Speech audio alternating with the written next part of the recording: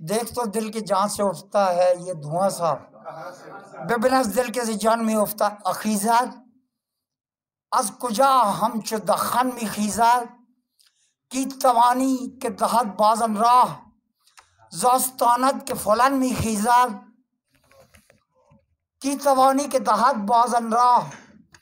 जोस्तानत के फलन में खीजात आह जिन तौर आह, इन तौर जकुयत रफ्तीन चो फलानी से जहान में खीजात इश्क, संगीत, गरानी आई मीर न तवानी जितवान में खीजा बहुत शुक्रिया।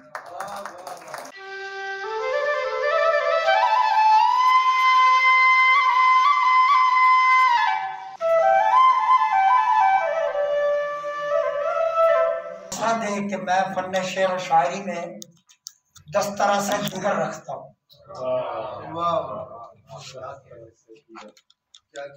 मीर की फारसी शायरी पर बात करने के लिए शायरी पूरी फारसी शायरी की रिवायत और जो खुद मीर की उर्दू शायरी है, उससे वाकिफ होना बहुत ज़रूरी है। और आज उनकी तीन सौवीं सालगिरह है और वो हमारे दोस्त हैं। ऐसे जो साथ बैठते हैं बातें करते हैं मुकालमा करते हैं। और हम उनसे सीखते हैं कि शेर का फन क्या है बात क्या है। मीर सन्ना है मिलो उससे। देखो तो बातें क्या बनाता है। देखो तो बातें क्या बनाता है।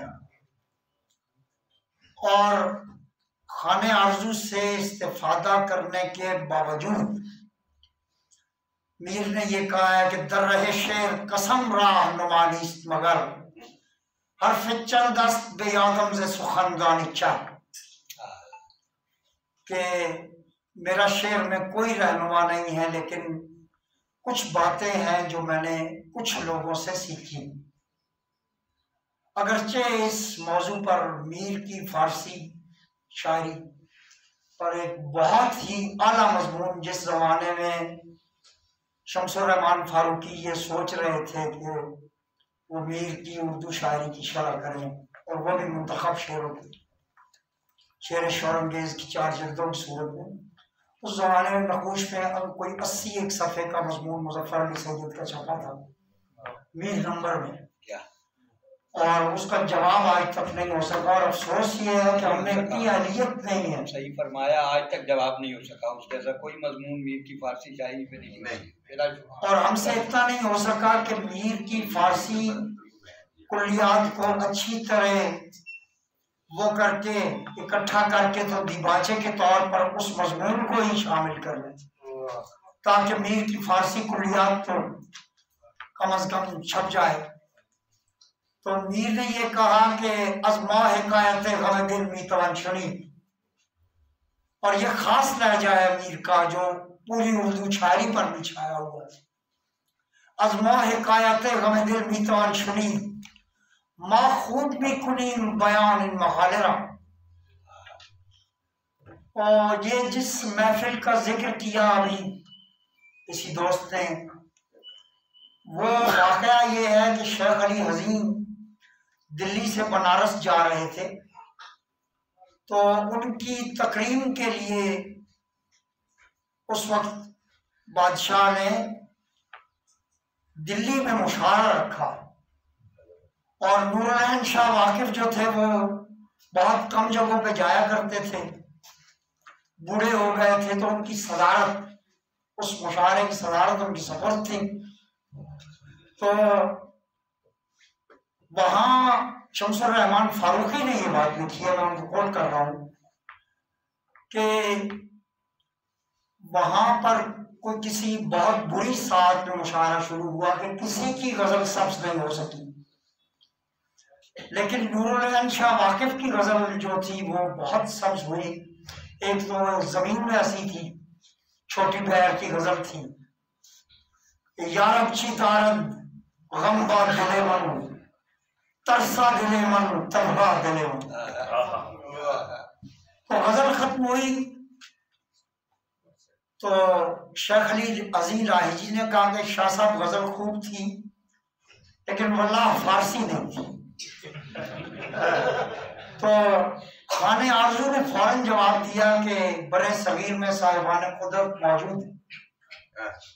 तो शेख अली अज़ीज़ लाही जी ने यह कहा कि फारसी ही यहाँ की जबान नहीं है, इसलिए यहाँ साहिबान कुदरत जो है वो महाल है। तो खान आरज़ू ने जवाब दिया कि अगर ईरान में मोमल गो मुमकिन है तो हम आपके कलाम को भी बेदिल और नासिर अली के आईने में देखते हैं। क्या कहने क्या ये आरज़ू ही कह सकता था। क्या कहने? इतना बड़ा और मीर की पूरी शायरी को अगर अब ये बात साबित हो चुकी है कि मीर ने चिराग हिदायत को सामने रखकर अपनी पूरी फारसी शायरी जो है उसमें जो मुहावरात हैं जो रोज़मर्रा है वो सारे का सारा वो मीर ने उसको सामने रखकर शेर कहे हैं। और मीर उस मजमून में तो ये है, मुजफ्फर अली सैयद साहब के, कि गालिब और बेदिल और गालिब के दरमियानी अरसे। फारसी का कोई ऐसा शायर नहीं हुआ। मैं समझता हूँ कि ये एक थोड़ा सा फालतू लफ्ज है, क्योंकि उस जमाने में वाकिफ भी हैं, कतील भी हैं, और भी लोग हैं। और मीर अगर पूरी फारसी शायरी को देखा जाए तो असातजा की जो तीसरी सफ है फारसी में उर्दू में तो ज़ाहिर है मीर ज- मीर का कोई सानी नहीं है। सरना है सब खार अजा जुमला उनमें भी है, है बड़ा उसमें जिससे कुछ होना आवे। उर्दू में तो या जब वो ये कहते हैं कि सूरत परस्त होते नहीं माना आशना है इश्क से बुतों के मेरा मुद्दा कुछ और तो उस वक्त उनके कोई पहलू नहीं मार सकता, वो इतने अजीम शायर हैं उर्दू के। लेकिन फारसी शायरी में भी जहाँ जहाँ बंदिशें मीर के यहाँ आपको नज़र आए और छेड़छाड़ नज़र आए, ऐ शेख बा पीर मोहन यक लहजे सोहबत गर्म कन ऐ शेख बा पीर मोहन यक लहजे सोहबत गर्म कन ता चंद तन्हा जीस्तन बा खातिरे अफसरदगी ता चंद तन्हा जीस्तन बा खातिरे अफसरदगी मीर की उर्दू और फारसी शायरी उस वक्त तक समझ नहीं आ सकती जब तक मीर का वर्ल्ड आउटलुक आपको समझ नहीं ये दो इंतहाएँ मुकर हो गई कि मीर आह का शायर है और एक इंतहा ये मुकर हो गई कि चार जिल्दों में या आठ जिल्दों में या एक जिल्द में जो उसको कहते हैं एग्जेजरेशन ऑफ़ मीनिंग माना का कब्जा है गासिबाना, जिसका शिकार फारूकी भी हुए। और उन्होंने सत्तर साल की उम्र तक जो कुछ पढ़ा था वो मीर में लगा और बाद शेर ऐसे ऐसे आप देखिए, जिसमें यहाँ तक भी कि वो जो मीर का अजीम शेर है सहने चमन उगते थे दस्ते बुलबुल और दामान गुल बहम सहने चमन नमूना यौमुल हिसाब था। सहने चमन नमूना यौमुल हिसाब था। उसकी जो कभी जाके देखिएगा क्या तशरी की है। और किस तरह क्लेवियस और बाकी चीज़ों का और स्टेम का और बाकी बोटेनिकल गार्डन बाकायदा बना के दिखाया उन्होंने। वहाँ अगर बात नहीं हुई तो शेर पर नहीं बाकी सारी बातें होंगी और खुद ये जो हमारे नाकिद हैं, बगैर किसी माजरत के, इनकी जो शायरी अक्सर नाकदीन की वो इसलिए कमज़ोर रह जाती है कि उनका जौक शेर अच्छा नहीं। हमारे यहाँ बहुत कम होता है कोई मुजफ्फर अली सैयद की तरह गज़ल की तरफ़ तवज्जो न दे अलग बात। सर पर छाई उमस नहीं जाती क्यों ये बदली बरस नहीं जाती? उसने आवाज़ दी थी सहरा में आज तक पेश पस नहीं जाती। उसने आवाज़ दी थी सहरा में आज तक आज तक पेश पस नहीं जाती। या डॉक्टर साहब मौजूद हैं, अजीब शहर शिकम मस्त में घिरा हूँ जहाँ। हर एक शख्स कुलू वशरबू पुकारता है। और सैयद साहब के शेर से वो शेर पहलू भी मार रहा है तो वो भी सुनाना चाहिए कि लिखी है दस्त नवर्दी नसीब में फिर से, कोई उसी की तरह हूँ बहु पुकारता तो वो जो अ, मुल्ला वजी ने कहा था जो बेरब्त बोले तो बैता पच्चीस। जो बेरब्त बोले तो बैता पच्चीस। भला है जो यक बैत बोले सलीस। मीर की शायरी पर इससे बड़ा तबसरा नहीं हो सकता। जो मुल्ला वजी का मैंने शेर जो बेरब्त बोले तो बैता पच्चीस। भला है जो एक यक बैत बोले सलीस। तो ये लहजा जो गालिब का आपको मजमूई लहजा नज़र आता है, ये मीर के असालीब में से एक उसलूब है। मीर उसलूब का नहीं, असालीब का शायर। असालीब का शायर है और मीर को उसलूब के बगैर मौत भी कबूल नहीं। खुद मीर ने कहा है। मरने से तुम हमारे खातिर न चिंत रखियो। इस काम को भी हम कुछ उसलूब कर चुके हैं।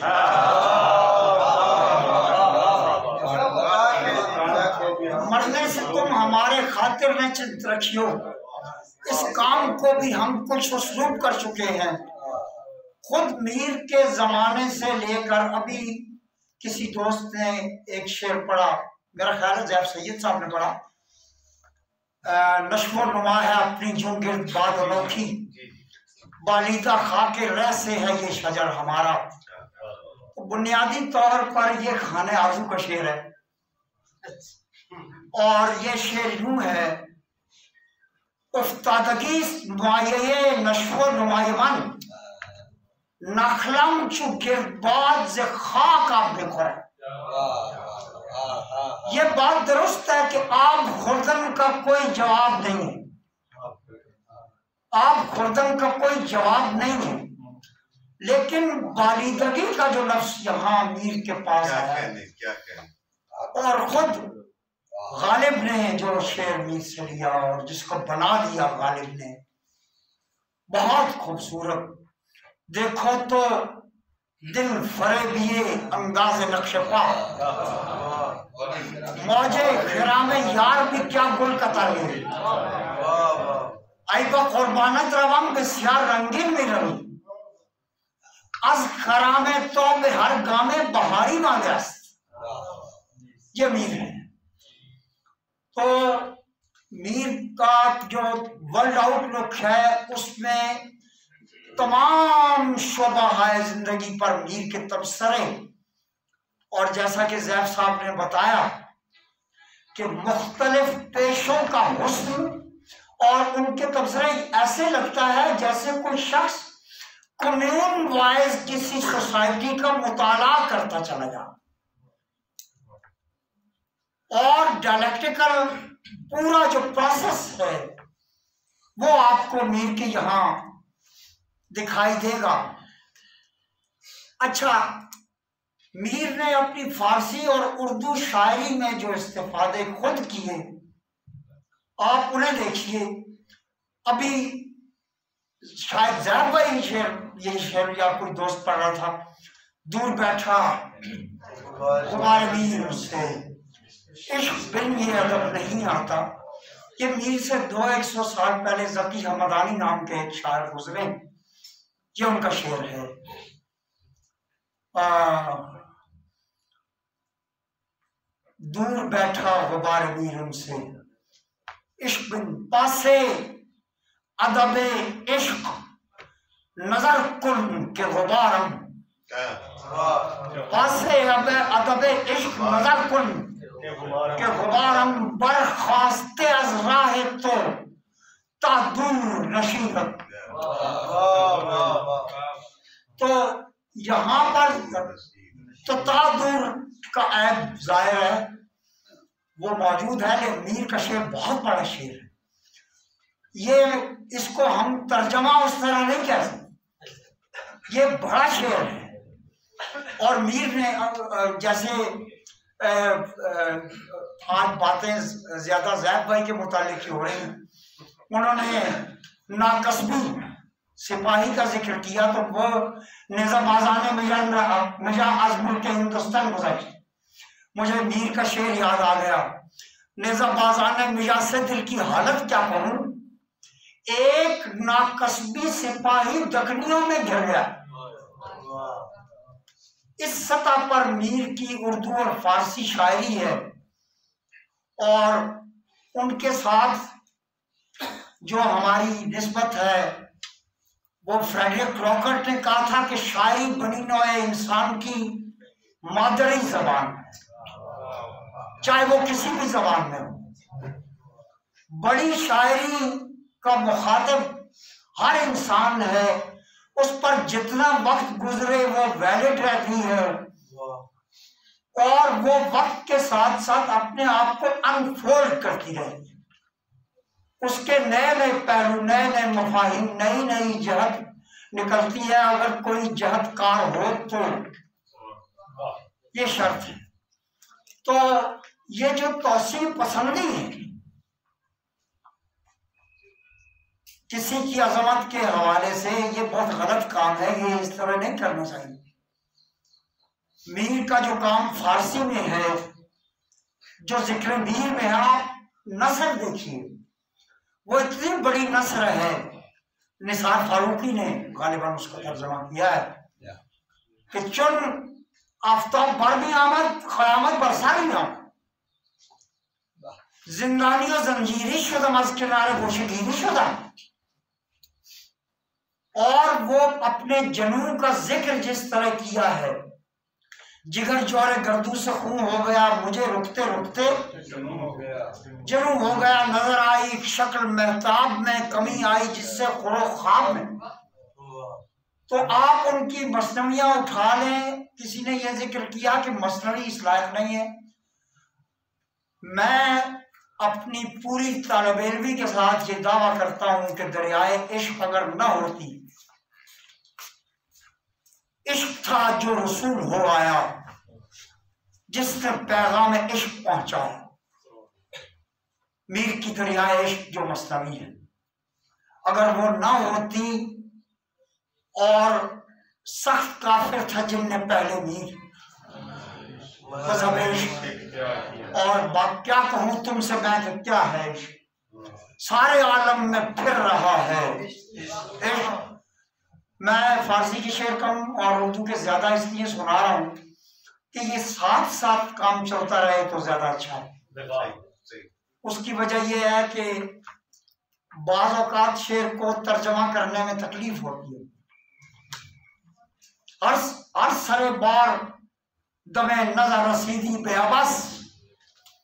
माँ कुजाइन तो तस्दी रसीदी बेअबस। अब तस्दी रसीदन का जवाब नहीं है यहाँ। कोई शख्स अरबी और फारसी का जानने वाला ही इसकी दाद दे सकता और उसको ये मालूम मालूम हो माँ कुजाइन ये सवाल मीर के दिल में बेदिल को पड़े बगैर पैदा हो ही नहीं कि अपने आ, अपनी तलाश नशे तहकीक मारा शोर ये जवाले का गिरद खुद गश थी छंदानी की खुदरा सुख थी। ये कमालात मीर के अंदर पैदा हुए। और वो चीज़ जिसको सबके हिंदी कह के ईरानियों ने हमारे मुँह के में मारने की कोशिश की, वो असल में सबके इस्फहानी था। सबके हिंदी नाम की कोई चीज़ एग्जिस्ट नहीं करती। नजीरी भी उसका शिकार नहीं है, उर्फी भी उसका शिकार नहीं। और यह भी याद आता है मुझे तालिब आमली और नजीरी के ज़िक्र से सर मीर की आदत है कि मीर एक मजमून को उस वक्त तक नहीं छोड़ता जब तक वो उसको पूरी तरह एग्जॉस्ट न कर दे। बड़ा शायर अपने आप को दोहराता है। क्या अच्छा है। क्या क्या अच्छा है भाई। और ज़फ़र किताब कलम भर कमी निगरम। रिश्वत आमन दिल में कशत के जा इंजास जिस जाए सरापा पे नज़र कीजिए उसके कहता है यही जी के यही उम्र बसर कर आपे भी जिस जा नज़र कीजिए। वही उम्र सारी बसर कीजिए। ये बसवी में आपने डॉक्टर साहब की जबानी सुना।